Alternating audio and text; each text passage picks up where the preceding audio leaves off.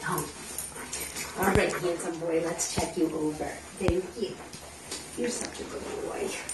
You come to my house. I'll trade my three-year-old Roddy, who's a ding dong, for you.